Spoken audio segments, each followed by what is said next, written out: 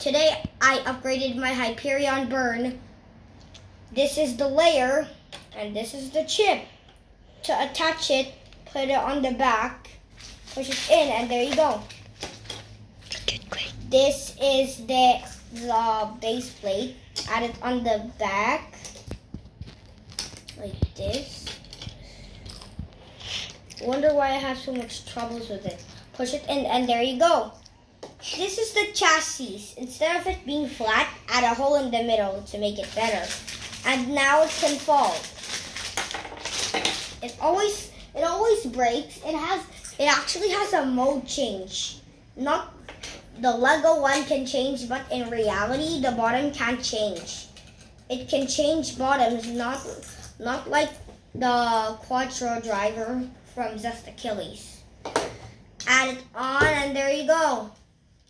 Finished. Let's test battle it. Mm-hmm. So as you can see guys, this is it in stamina mode. Okay, let's go.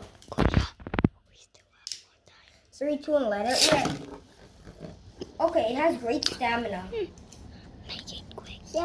Let's let's do attack mode.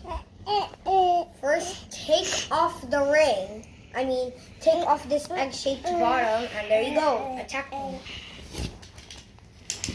Three, two, and let it rip. It's not that aggressive because it's flat. Okay, let's attach it back on. Bye, everybody. I hope you had a great day.